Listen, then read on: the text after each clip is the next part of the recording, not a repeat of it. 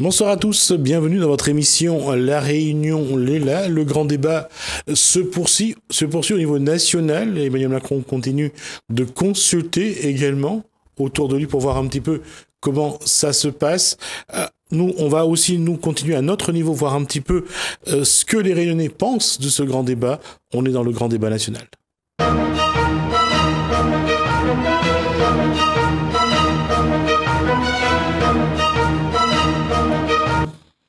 Bonsoir René Robert. Bonsoir. Alors en fonction, ça sera scientifique Oh, si vous voulez, réunionnais d'abord. C'est une qualité aussi, effectivement. Euh, voilà, géographe pour la suite. D'accord. Sergio Machi, bonsoir. Bonsoir. Alors, je reçois le patron de Émergence Réunion C'est ça, oui. Ou je reçois le citoyen Qu'est-ce que vous préférez Les deux. D'accord, on va commencer par le citoyen, ça va être plus simple. Euh, la question, c'est quel regard on doit porter sur le, la situation actuellement à La Réunion, il y a eu depuis le 7 novembre les Gilets jaunes. Finalement, il y a eu un barouf au niveau gouvernemental. Il y a eu Annick Girardin qui est venu. Il y a eu beaucoup de choses qui ont été dites. Finalement, aujourd'hui, quel constat vous faites? Ben, C'est-à-dire, euh, depuis les événements de ces derniers mois, hein, ça a commencé depuis novembre, décembre, et puis là, nous sommes au mois de janvier et février, donc ça fait quand même plusieurs semaines. Je pense que c'est une première à La Réunion. Et j'ai envie de dire une chose, c'était euh, prévisible, mais pas répéter ce que les autres ont dit pendant très longtemps, c'était prévisible, on savait, etc. La situation de la Réunion était tellement tendue que ça devait, tôt ou tard, éclater, premièrement. Deuxièmement, il y a un certain nombre de, de sujets, de problèmes qui, qui sont remontés à, à la surface, et si le problème des carburants était les détonateurs euh, de tous ces événements, mais aujourd'hui, le problème des logements, le problème de la fiscalité, le problème de citoyenneté, le problème de la démocratie. Comment le citoyen Serge Kamachi regarde ça, vit ça chaque jour? Je veux dire que des gens qui n'ont pas de moyens, des gens qui souffrent, des gens qui n'arrivent plus à payer leur loyer, à payer les taxes foncières, on en voit tous les jours des, familles, des femmes, des mères de famille, des pères de famille qui n'arrivent plus à nourrir leurs enfants. On le voit ça tous les jours. On le voit. Je veux dire, comment le citoyen d'abord voit une, cette société péricliter au niveau financier et voir qu'il y a de plus en plus de misère finalement? Écoutez, cette situation, je pense qu'elle a assez duré parce que ce n'est pas, cette situation n'est pas arrivée comme ça, je veux dire, euh, euh, sur le terrain du jour au lendemain. Euh, c'est pourquoi, dès les départs, depuis le mois de novembre-décembre, nous avons écrit, nous avons dit, euh, euh, nous ne devons pas jeter l'eau du bain avec le bébé. Pourquoi? Parce que la départementalisation. Ce, ce discours-là, il est très politique. Parce que vous êtes politique. Et ça, je ne veux pas changer ça. Mais quand on voit à l'image de ce qu'on de ce qu'on a entendu, surtout pendant les événements, on a entendu les discours d'Alec Girardin, de, Didier Robert, de Cyril Melchior, on a vu toutes, ces choses-là. Finalement, ces discours-là, on les entend depuis un moment. Euh, que, que c'était prévisible, à la rigueur, tout le monde l'avait plus ou moins tout, tout, tout, le monde l'avait dit. Tout le monde avait dit la même chose. Mais pourquoi, pourquoi on n'y arrive pas? Pourquoi on n'y arrive pas Tout simplement parce que on n'a pas pris, euh, on n'a pas pris les bonnes mesures, on n'a pas pris les bonnes solutions. Ou alors on n'a pas pris les bons élus. Je ne sais pas, ça je ne saurais pas le dire, mais disons que finalement on n'a pas pris les bonnes solutions.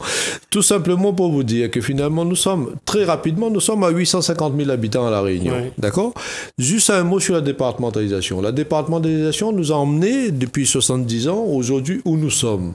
Pour ne pas reprendre ce qui a été dit, il y a une bonne frange de la population qui ont réussi à travers l'éducation, à mhm. travers le développement économique, à travers la santé, qu'ils ont réussi. Mais malheureusement, il y a un gros pourcentage de la population population qui, qui est restée au, bas de l'échelle. Quand on voit par exemple près de 50% des gens de la population qui vivent sous le seuil de la pauvreté, comment voulez-vous que cette population arrive à s'en sortir avec les charges l'eau, l'électricité, le téléphone, la nourriture, les enfants qui vont à l'école, ou les personnes âgées avec très peu de retraite, comment voulez-vous que ces personnes arrivent? Je pense que finalement, on a voulu mettre l'accent sur l'économie, je veux bien, je veux bien, je suis pour le développement économique. C'est le développement économique qui fait, qui, qui entraîne aussi, euh, euh, le, qui règle aussi le problème social.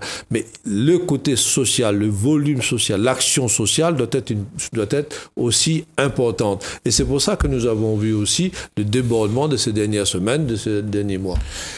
Ça va être direct et ça va être un- peut-être un peu brutal, mais euh, entretenir cette euh, clientèle électorale la plus pauvre possible pour pouvoir aller chercher des courriers ali- alimentaires au CCAS, c'est aussi un petit peu ce que les politiques Non. font. C'est pas ça qu'il faut faire à la Réunion. Bah, c'est pas ce qu'il faut, c'est pas ce qu'il faut faire, mais ils le font, ils le font et ils le font bien. Et c'est pas ça qu'il faut faire, mais malheureusement, malheureusement, nous constatons que justement ce système-là, aujourd'hui, est devenu obsolète. D'accord Sinon, nous n'aurons pas vu ce que nous avons vu ces dernières semaines. Mais moi, je trouve que la manifestation, les gens se sont réveillés, c'est une bonne chose. On peut déplorer tous les débordements qu'il y a eu sur euh, le, route, le rond-point, parce qu'il y a des malades qui étaient pénalisés, les enfants n'ont pas pu aller à l'école, d'autres qui, par exemple, qui n'ont pas- pu rejoindre leur lieu de travail, etc. Il y a eu des conséquences. Mais toutes ces manifestations, c'était aussi pour démontrer le ras-le-bol qu'il faut faire autrement aujourd'hui. Alors, Ce entre- euh, Ce système, Phrase. ce système dans lequel nous étions, aujourd'hui, il faut le changer automatiquement, systématiquement et rapidement. Euh, René je, je vais vous mettre dans l'embarras. Faire, faire autrement, les scientifiques le savent, les politiques le savent peut-être, mais en tout cas, ils veulent pas changer le système. Parce que ça permet, en tout cas, à, à un certain nombre de politiques à rester en place, à maintenir un statu quo qui permet à chacun de garder ses avantages, ses zones de confort. Faire autrement, ça serait revenir à, à cette relation qu'on doit avoir avec la nature, cette connexion qu'on doit avoir avec son environnement. Ah, De toute façon, je peux vous répondre tout de suite et simplement, y a-t-il une autre solution? Moi, je vous dirais non. Nous dépendons de la nature. Nous dépendons de la dimension de l'île, euh, un certain nombre d'hectares. Nous dépendons d'une île qui est déjà petite, sur laquelle une partie du territoire ne peut pas être utilisée, par exemple du côté de la fournaise, ou lorsqu'il y a d'énormes remparts comme dans les Siacs. Ce qui veut dire que, en fait, nous avons un bien naturel qui s'appelle l'île de la Réunion. On y est attaché. C'est quand même notre île natale. Mais d'un autre côté, on ne peut pas continuer à fermer les yeux sur l'évolution qui se passe sous nos yeux avec une responsabilité politique, mais une responsabilité aussi individuelle. Attention, moi je ne retiens pas à chaque individu la responsabilité de la situation actuelle. Tout le monde est concerné là. Personne n'est parfait dans cette affaire. Donc, ce que je dis en conclusion rapidement à votre question, je crois qu'il faut en même temps bénéficier de cette période mouvementée, qui peut ne pas plaire à tout le monde, ça je le conçois facilement, pour arriver maintenant à se poser les véritables questions de l'avenir de nos enfants et de nos petits-enfants, parce que je vais être simple, j'ai 80 ans, j'y suis. Moi, je vais partir bientôt. On sait pas avec la vie d'aujourd'hui. euh, Non, non, non, non, d'accord, c'est gentil de votre part, mais... Non, non, vous- je suis sérieux en plus, je suis vraiment sérieux. Voilà, ne mais vous pas. voyez ce que je veux dire. Ouais, là, ce sont mes petits-enfants qui m'intéressent et les petits-enfants de- des gens que je connais et des autres que je ne connais pas. Et là, honnêtement, pouvez-vous imaginer que l'on puisse continuer à construire des deux fois deux voies ou des deux fois trois voies pour les routes? Pouvez-vous continuer à imaginer que l'on puisse faire des, constructions sociales, comme on en voit partout, au détriment des terres agricoles qui sont en train de disparaître Moi, je vous pose la question, au bout de quelques temps, on va manger quoi? Du bitume? Parce qu'on n'aura plus de maïs, on n'aura plus de riz, on n'aura plus de fruits, on n'aura plus de légumes, on n'aura plus de place pour faire tout ça. Alors, évidemment, j'exagère. C'est pour faire toucher du doigt la difficulté dans laquelle nous nous trouvons. Mais il y a une opportunité à ce débat politique que nous venons de vivre et qui n'est pas terminé. Mais, euh, ouais, terminé. Il faudrait ajouter un autre débat qui est celui de la responsabilité des Réunionnais vis-à-vis de leur île pour faire une autre île demain pour nos enfants et nos petits-enfants. Alors, à vous deux, la question est le même, que ce soit au niveau politique, Mm. que ce soit au niveau des citoyens. Et il y a une chose qu'il faut changer, c'est le comportement Ah ben oui. et le fonctionnement. Ah ben oui. Inévitablement. Ah oui, ça- On Inévitablement. peut pas faire autrement. D'accord y compris les élus, y compris la population, y compris les jeunes, inévitablement parce qu'on ne peut plus continuer comme ça. Alors, c'est un cri, c'est un cri, c'est un cri d'appel. qui doit euh, commencer le premier, qui doit donner l'exemple, qui doit faire le premier pas vers cette transition, parce qu'il faut une transition, il faut changer les choses, et on le voit. Il faut déjà, quand on parle de nature, il faut reprendre le contact avec la nature, il faut aller planter, il faut aller donc travailler, il faut faire les efforts. Et comment inciter la population dans sa globalité, dans toute sa dimension, comment inciter la population à cette évolution? Je peux vous proposer une démarche. Je ne suis pas sûr qu'elle soit la seule qui soit valable, mais au moins c'est une démarche qui commence à exister et qui personnellement me donne satisfaction.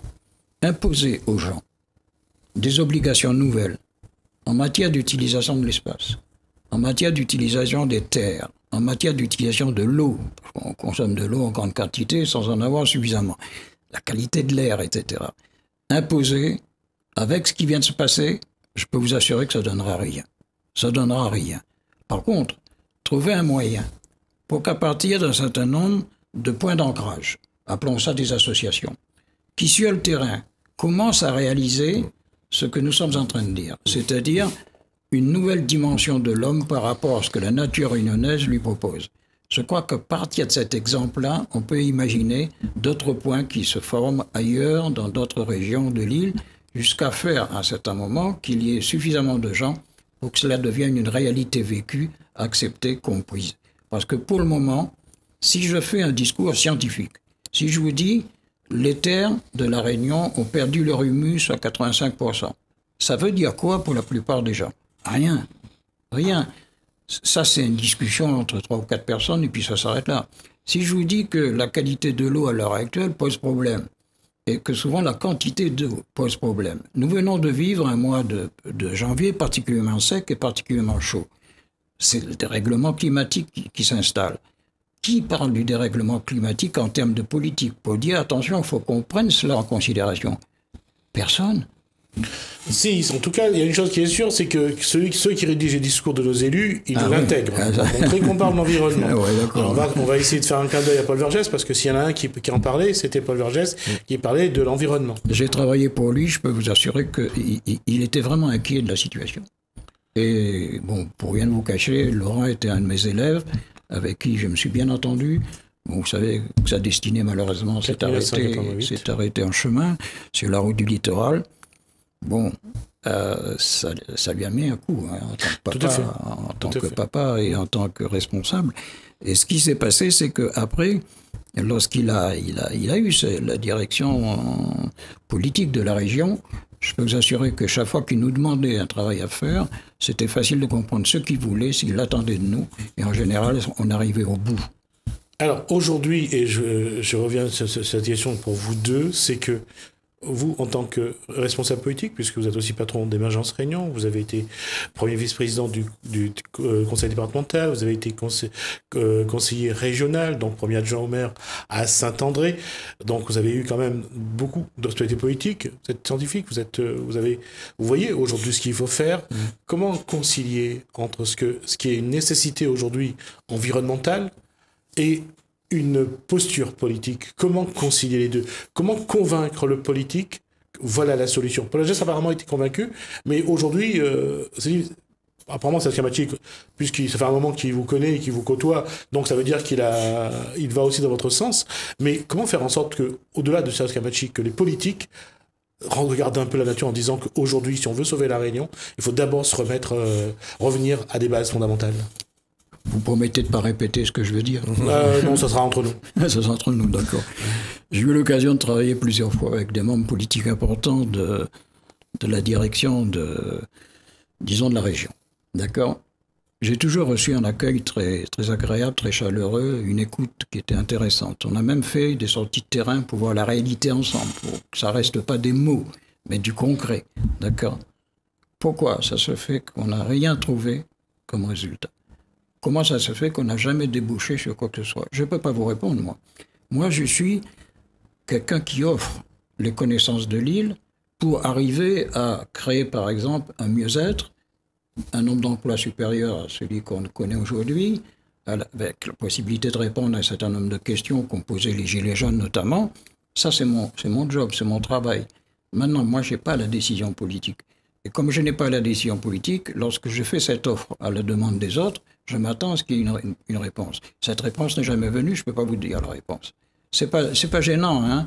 Je sais que les, politiques ont d'autres occupations, d'autres interventions nécessaires. Je ne jette pas la pierre qui que ce soit. Je dis simplement que ça ne marche pas. J'entends, par exemple, face au président de la République française, quelqu'un dire qu'il faut développer la démarche de la biomasse. excusez-moi du peu, j'ai failli tomber de mon lit. D'accord? Parce que c'est une idée qu'on travaille depuis des tas d'années, avec des financements régions. Le travail est terminé, il en sort quoi? Rien.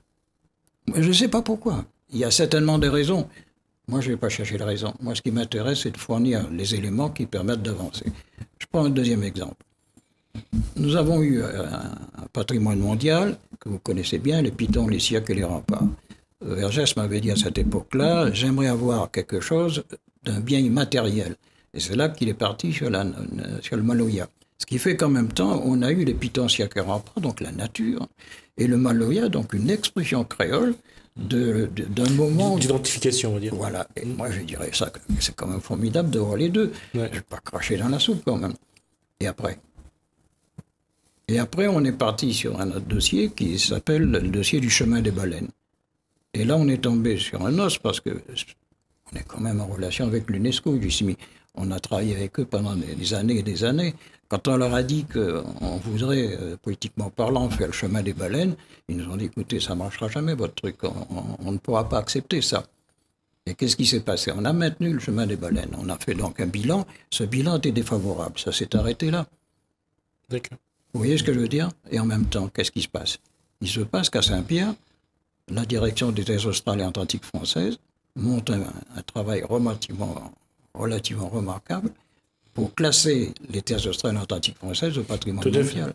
Alors pourquoi ne pas travailler ensemble et, donner un coup de main au TAF plutôt que de se lancer sur le chemin des baleines? Et quand on regarde la situation géographique des, TAF, euh, entre le canal du Mozambique, euh, le, en bas, euh, un peu plus bas que l'Afrique du Sud, ça fait quand même un sacré triangle. Ça fait un sacré triangle. donc je réponds à votre question. Des contenus pour demain, on en a. Je peux vous assurer qu'on en a. Alors, seront-ils satisfaisants? Moi, je ne suis pas Dieu le Père, moi, je ne peux pas vous répondre. Mais il y en a. Ensuite, des gens qui comprennent la, la, certitude d'une autre façon de travailler, ça existe également. Donc je pense que le mouvement dont, parlait euh, notre ami, euh, que, vous rappeliez tout à l'heure, ce, ce, mouvement des Gilets jaunes peut avoir des conséquences politiques, économiques, sociales, etc. Ça, c'est pas mon job, si vous voulez, c'est pas mon travail. Moi, je pense que ça remue profondément un certain nombre de personnes mmh. qui se disent mais quelle est la solution pour demain?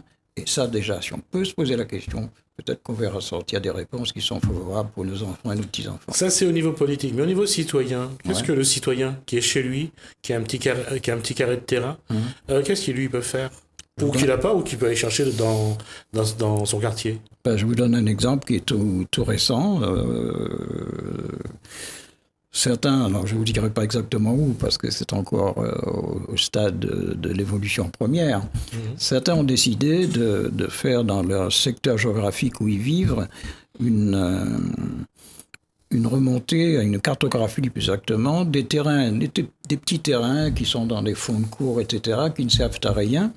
Et ils voient avec le propriétaire s'ils peuvent le mettre en valeur pour créer des, légumes bio ou des, des fruits bio avec une vente qui serait une vente de proximité, c'est-à-dire surtout ne pas faire quelque chose, par exemple, au tampon pour le vendre à Saint-Denis, parce qu'avec la, démarche, vous savez, bon bref, je ne vous fais pas un dessin. Mais figurez-vous que ça, ça démarre, ça démarre même assez bien, je ne dis pas que c'est un triomphe à l'heure actuelle, mais voilà une piste qui vous donne l'idée de ce que l'on peut faire demain. Vous avez un, terrain à l'heure actuelle dans les hauts de, l'Est, de l'Ouest, pardon, qui s'appelle... Euh, euh, entre la, limite domaniale, si vous voulez, et la fin du domaine, euh, utilisé. Anciennement, ce terrain était utilisé pour euh, une plante que vous connaissez bien, que, dont on envoyait le produit à Grasse pour faire des parfums. Et ce géranium a, permis quand même, du temps du défunt M. Lounion, que j'ai bien connu, euh, un démarrage économique d'une région où il n'y avait pas beaucoup, beaucoup de choses à faire. Ensuite, bon, ça a périclité. Je n'entrerai pas dans cette, euh, cette complication-là, mais ce qui s'est passé, c'est que ce terrain est, reparti en friche. Et on a un dossier qui s'appelle Ecotone, E-C-O-T-O-N-E, qui essaie de remettre en valeur ce type de terrain pour qu'on puisse en faire bénéficier des jeunes agriculteurs qui, à l'heure actuelle, n'ont pas les moyens de travailler parce qu'ils n'ont pas les terres nécessaires. Alors vous voyez qu'il y a des pistes. Je ne dirais pas que toutes ces pistes sont satisfaisantes et amèneront un, mieux-être total à La Réunion. Il ne faut pas rêver. Mais je pense que si on veut démarrer, on a les moyens de démarrer. C'est une base, euh, Ah en oui, tout cas, des pratique. Voilà. Euh, Machi, je vais continuer à vous taper dessus, puisque vous êtes politique. Euh, ne regardez pas comme ça, je ne vais pas taper fort. Euh, Chambord a été euh, longtemps hein, le grenier de, de Saint-Uzanne. De la Réunion même. De la Réunion. De la Réunion. Quand on passe à, à Chambord, euh, soit on ne voit plus parce que les terrains, soit ils cultivent à l'intérieur, donc on ne voit plus d'extérieur. Il restait encore quelques champs de canne. Est-ce qu'un jour, euh, Saint-André pourrait se dire que Chambord pourrait devenir un.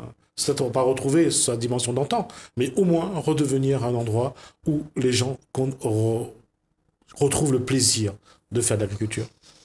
Retrouver le plaisir, oui, certainement. Mais euh, retrouver l'image de Chambord à l'époque qui était le grenier de la Réunion où tous les bazardiers, tous les agriculteurs partaient le matin sur Saint-Denis emmener, emmener leurs produits, ça ne trouvera plus. Malheureusement, parce que l'urbanisation a quand même pris beaucoup de place sur Chambord. Mais Mais c'est aussi une chose, euh, Serge Gamachi, c'est qu'il y a encore des terrains, mais on les voit en friche, on, on voit Voilà. qu'ils sont abandonnés. hein. Voilà, c'est pour ça que je dis que retrouver le plaisir d'antan, non, mais par contre, je veux dire, innover. Innover.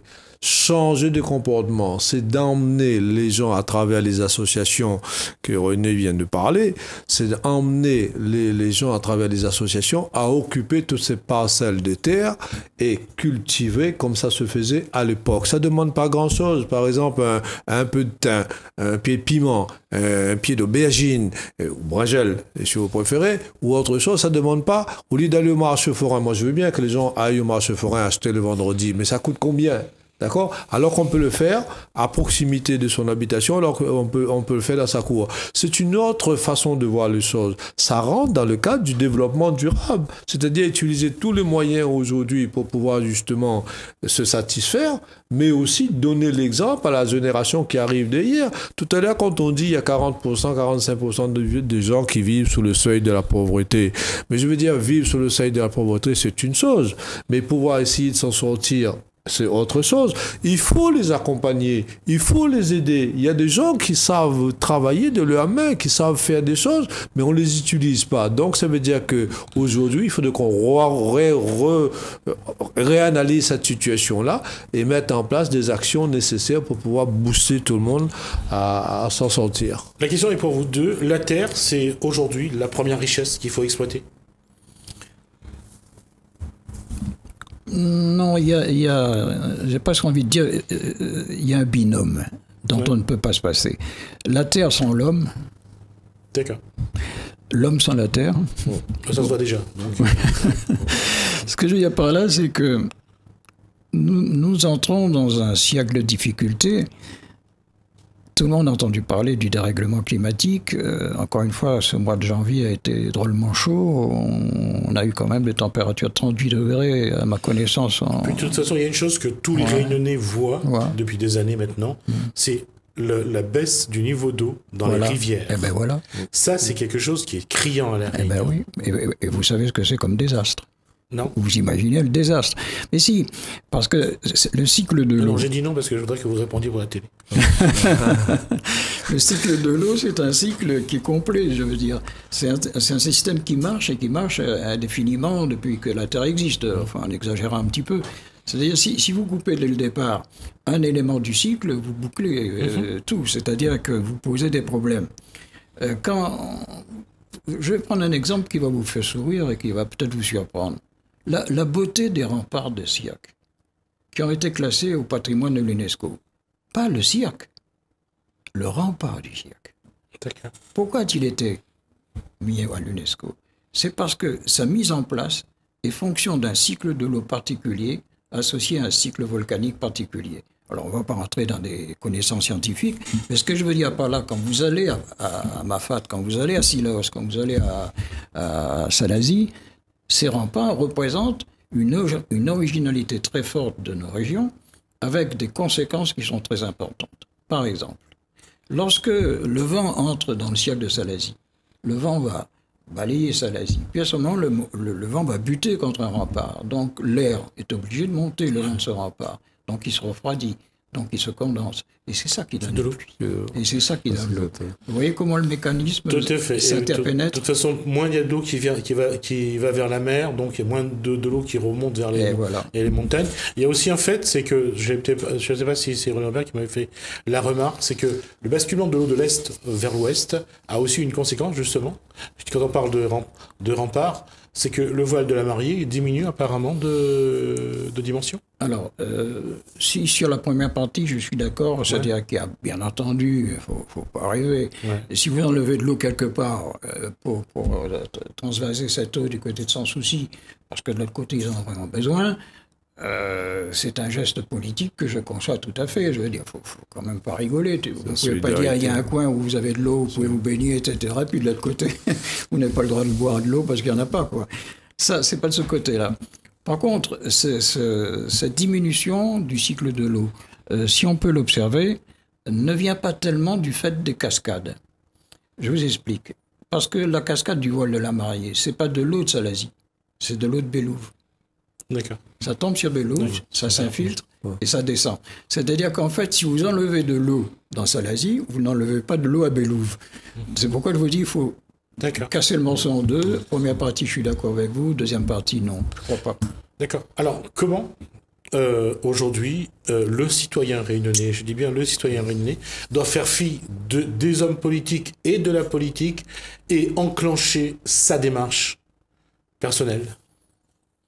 Bah, écoutez, alors là, vous posez pour moi, hein, euh, je ne sais pas ce que tu en penses, mais pour moi, c'est la question existentielle. Je ne dis pas essentielle, je dis existentielle.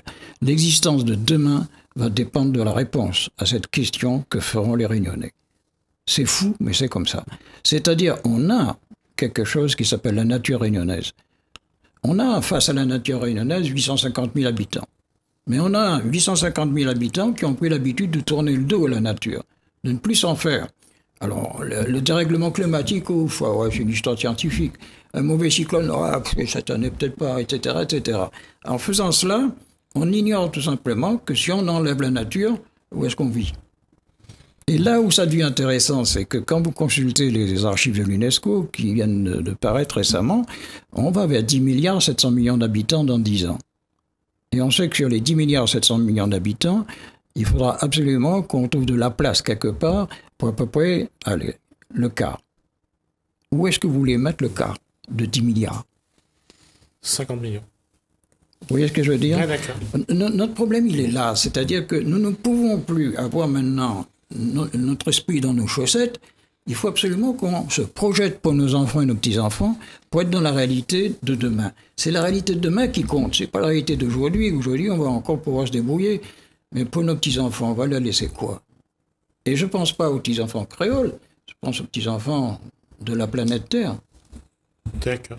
Serge Kamachi, euh, pas même question. Il faut se déconnecter des politiques ou il y a encore un espoir qu'un jour les politiques ne pensent pas seulement à la zone de confort, mais pensent vraiment à mettre en place des projets ou alors il faudrait inventer des, des, contrats aidés pour que, envoyer les bah, gens. écoutez, il faut un peu de tout. Moi, je trouve que déjà, le, il faut quand même euh, souligner quand même euh, la rencontre qu'il y a eu à Paris avec le président de la République, parce que, euh, bon, je veux dire, la Réunion ne pourra pas se développer sans la France, sans la République. Oui, sauf que les Gilets jaunes ont montré que c'est les politiques qui posent un problème aujourd'hui. Très bien. D'accord, ça c'est les Gilets jaunes, mais moi je veux dire, je suis pas les représentants, je fais que le constat. Et puis je veux dire que il y a le politique et puis il y a le mouvement politique. Émergence Réunion, juste pour rappeler, Émergence Réunion, c'est un mouvement politique qui nous permet justement, avec euh, le professeur euh, Robert, justement, on s'instruit régulièrement, on s'informe régulièrement, parce que tout ce qu'il dit, c'est très important pour la Réunion, pour, euh, pour, pour, le, je veux dire, le, monde entier, hein, la nature, on a besoin de la nature pour vivre, ça c'est indéniable. Et puis, on s'instruit aussi pour pouvoir passer un message. Est-ce qu'aujourd'hui, quand on regarde la situation dans laquelle on est, est-ce qu'on est capable aujourd'hui d'aller sur le terrain, d'installer des espaces de dialogue pour parler de la nature, pour parler du développement durable, pour parler de la transition écologique, pour parler des énergies renouvelables, ou bien sinon on continue à travailler à un certain niveau, en disant, ben voilà, nous allons sortir tel ou tel projet pour la Réunion, mais je parle même pour la France, sans qu'il y ait la participation des citoyens. Le problème, il est là aujourd'hui, parce que quand on parle des citoyens, quand on parle de la démocratie participative, ça a, été, ça a, fait, ça a fait débat pendant très longtemps, la démocratie participative, c'est-à-dire justement donner la parole aux citoyens régulièrement. Et puis aujourd'hui, on a vu que la, la, démocratie, la, la, démocratie participative, aujourd'hui, il y a eu là, ce qu'on appelle la, la démocratie représentative, puisque les élus se disent, eh ben, nous étions, nous sommes élus pour cinq ans, un mandat, eh ben, nous allons représenter les citoyens et nous leur donnerons la parole cinq ans après euh, au, au, prochain tour des élections. Et les gens ne veulent plus aujourd'hui. Les gens veulent une démocratie directe aujourd'hui. C'est-à-dire, il y a un projet, il y a des actions à entreprendre pour la Réunion. Il faut préparer la future génération. Il faut d'abord répondre euh, aux problèmes qui se posent aujourd'hui pour les gens qui sont vraiment en grande difficulté. Hein, de quoi, comment ils vont se nourrir, comment ils vont s'en sortir. C'est ça le, cri de la population. J'ai besoin d'un logement, j'ai besoin d'un emploi, j'ai besoin de, de, de préparer l'avenir de mes enfants. Comment je pourrais m'en sortir par rapport à d'autres? C'est pas 850 000 habitants à La Réunion qui sont dans la même situation, heureusement.